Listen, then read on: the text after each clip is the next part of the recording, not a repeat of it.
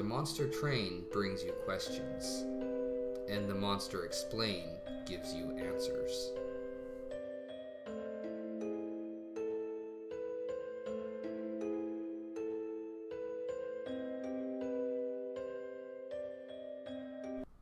Hey there, I am Gavel Guide, and today we're going to try to answer two very important questions about Monster Train's lore. The first, what is the Boneshaker? And the second, who is Herzal? Let's begin with that first question. What is the Monster Train? But to answer that, we're going to need to go back a bit in the setting's history. Monster Train is set in an original and very unique take on Hell. During a point of this Hell's history, it was a place of chaos and danger, until one man took it upon himself to try and change things. He unified not just the nine rings of hell into an uneasy order, but heaven and earth with it. The Boneshaker is a railway that runs through all three worlds, connecting them in literal and symbolic unity. The Boneshaker is obviously an important train, and this is complemented with a number of very interesting features. It's got security guard robots, trick hallways, moving staircases, damaging steam vents. It's got a trap chute, it's got a pulley claw. It's even got an improved firebox.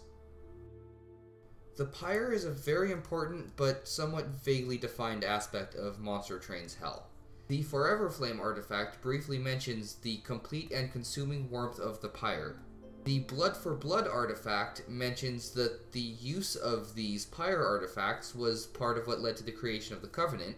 And the flavor text for the last shard of the pyre describes it as one shard still burning, and that it is their last hope to reignite the flames of hell. Fire seems to be the fire and brimstone that hell is typically associated with. It is even especially associated with the time in hell's history when there was widespread chaos and disaster. However, when it comes to our relationship with the monster train, there is one very important component I have glossed over, and that is the last shard of the pyre. Pyrestone is a sort of way to transfer the pyre into a physical form by infusing it into a gem. If we look at the flavor text for Pyrestone housing, we can see Herzal remarking on this process. My discovery of the creation of Pyrestones, gemstones infused with the flames of the pyre, was monumental in enhancing the strength of Hell's forces and marked a turning point in the war against Heaven. That victory was short-lived, however, as the design was stolen and copied shortly thereafter. This establishes not only that Pyre is a big source of Hell's power and that it can be made more potent by infusing it into these gems, it is also the first in a pattern you will soon see of Heaven stealing Herzal's ideas. This seems to suggest that not only is Pyre a sort of power source for Hell, but that infusing it into these gems has increased its efficiency. This is not something that is given a lot of detail in the lore, at least not as far as I know, but Pyre and Pyrestones are a very fundamentally important aspect of how Hell functions. That much is clear. So that about covers the first question. What is the monster train? It is a symbol of the peace and unity that was meant to exist between heaven, hell, and earth until heaven decided to invade hell and start a war. It's a train with many tricks and traps and gadgets to fight off intruders or just aid its users. And it's a train containing the last shard of the Pyrestone, the only remaining flames of Hell's fire and the only way to restore peace as we know it. But all throughout this, I keep mentioning the man in the second question Herzal, the person who built the monster train, the person who created Pyrestones, the person who sought to create this unity in the first place. The monster train is a cool vehicle, but Herzal is an extraordinarily fascinating person. If we're going to talk about who Herzal is, I think the best place to start is with the Hammered chest plates artifact. Seraph and I pursued the Covenant to quell the unrest, and the armor persisted across centuries. It has proven useful in this last fight. Much of the specifics of Herzal's history are intentionally left vague, but this tells us just about everything we need to know about him. When he lives in a dangerous and horrible area, he does what he can to make people more safe. Additionally, it tells us that he was able to work together with Seraph, the leader of heaven, to pursue the covenant that brought peace, at least for a little while. More than anything, it tells us that Herzal is not ordinary. He is always striving to do good things, and he seems capable of achieving them. Both of these facts are crucial to telling his story from here on out. There is one thing I want to address before moving on much further, and that is one of the most important aspects of Herzal's character. That being that he wrote all of the flavor text in the game. This is not only confirmed by the developers, it is readily apparent if you know where to look. Uh, the easiest way is to look at the journal page, which identifies the journal as belonging to Herzal and is implied to be the source of all the information you are reading. There is one other very important fact about Herzal, and as far as I can tell, this is only known because it has been confirmed by the developers. I can't find any evidence of this in game other than some things that just don't add up in general. But Herzal is a Titan. Monster Train has a handful of very powerful beings known as Titans, however, very little is known about them, so I'll be discussing them individually as they become relevant. Herzal is suggested to be in Hell for quite a long time before pursuing the Covenant. However, it doesn't seem that he did much of importance during this time.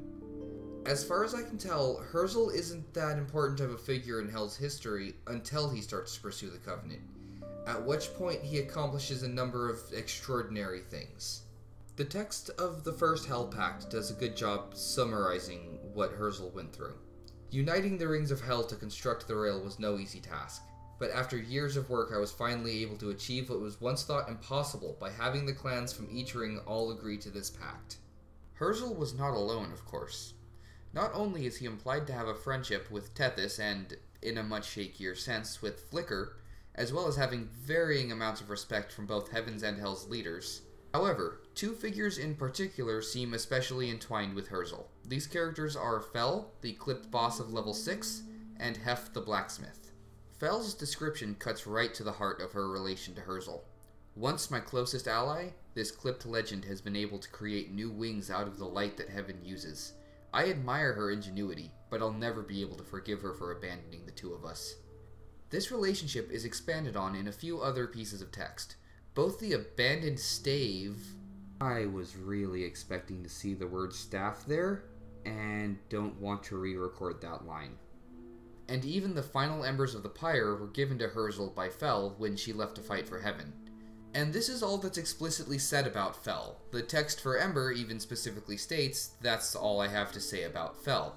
However, I believe there is one other time the flavor text mentions her, if not by name. The flavor text for Light's gift reads, Our time together was brief, but our bond was unbreakable. However, when the covenant was broken, my hope for what was unbreakable was shattered as well. I keep her gift close to my heart to remember what we had and what was lost. Fel is repeatedly accused of leaving or abandoning Herzal elsewhere in the text. It seems pretty clear that Fel was more than a steadfast ally. They were lovers. And at some point, their love led to a child. We can find the identity of this child by looking at the Frozen Nostalgia artifact. This is a locket that once belonged to Herzal, with a description that sounds very much like a father offering advice. The picture in the locket, low res though it is, is undeniably Hef the blacksmith. However, this trinket does not make its way to your hands without bad news. The only way to acquire Frozen Nostalgia is by encountering Herzal's final resting place. Witness the false prophet, forger of the Rail and Covenant, now damned and broken. It's not clear when he was captured or why this was chosen as his fate, but this is Herzal, the titan that forged the Covenant and united the realms. Encountering this offers you a choice between three artifacts his hope for the future in the form of frozen nostalgia, his dedication to peace and unity as the Railforger's hammer, or his knowledge and wisdom manifesting very literally as the history of the world. Even well beyond his final moments, Herzal is fighting for the world he believes in. But there is one final experience to discuss before we close this episode out, something that happened even before Herzal died. Herzal was influenced by strange and ancient beings called exiles. He only received a few vague visions before his death, but from them we can gather a few important details. Each clan of Hell seems to spring from some sort of original being that made a sacrifice to give their clan life and to give Hell in general a future. However, each exile is very different, and explaining just one would require discussing the clan they're related to in even more detail just to contextualize it and we don't really have time for that here. Thankfully, we'll have more than enough time to learn about the exile of the Hellhorned on the next episode of Monster Explain. Thank you for listening.